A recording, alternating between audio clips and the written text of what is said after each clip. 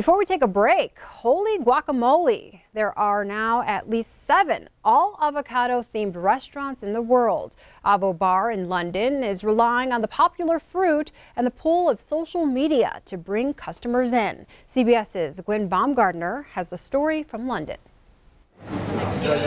Avo Bar takes the saying, you eat with your eyes, to a whole new level. There we go. It's a place where customers take more photos than bites, at least initially. We've had people stand on tables and uh, spend 20 minutes before, before eating their food. Chefs spend their time slicing and dicing more than 400 avocados each day, serving up the superfood in every menu option.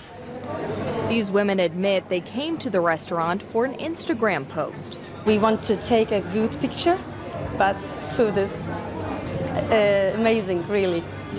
The Avo Bun Burger is their most popular item, replacing the bread with a full avocado. And if that doesn't fill okay, you up. So this is avocado ice cream, and then you put it's chili flakes on top. Beetroot powder and chili flakes on top. That's good.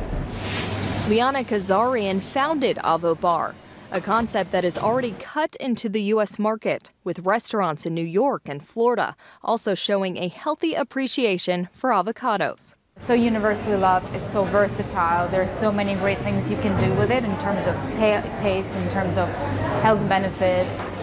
With its antioxidants, fiber, and potassium, an avocado-filled meal is an easy choice. Service, please. The picture-worthy presentation doesn't hurt either. Gwen Baumgardner, CBS News, London. The Avo Bar in London is hoping to open more locations in the next few years.